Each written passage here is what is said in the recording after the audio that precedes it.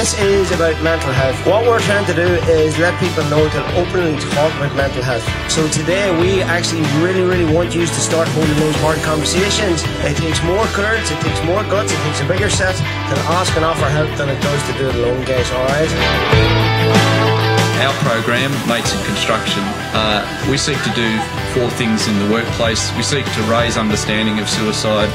We seek to reduce um, the stigma associated with suicide, and we seek to provide workforces in construction sites the capacity to give help and to offer help, uh, and then also we encourage workers to seek help.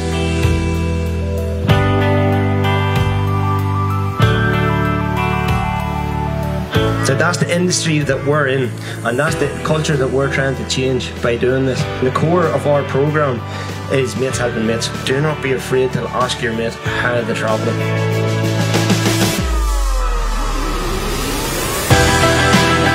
thank you and on behalf of the 120,000 construction workers in Western Australia and their families, um, we deeply appreciate your support.